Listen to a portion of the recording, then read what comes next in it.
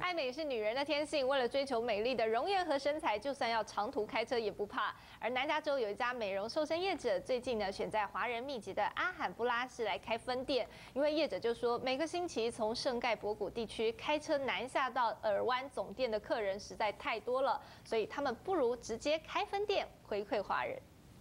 在圣盖博士市议员廖清和的支持下，这家美容瘦身店热烈剪彩，宣布第二家分店开张。以雄厚的资金和实力，陆续从意大利、法国和韩国引进最新的美容瘦身仪器，不只强调效果更快更好，加上强大的顾问团队，更打造出顾客口中的好口碑。做过那个紧肤疗程，然后那个嗯，大概的话，我觉得做两到三次的话，效果就开始能看出来了。它那种就是说冷光。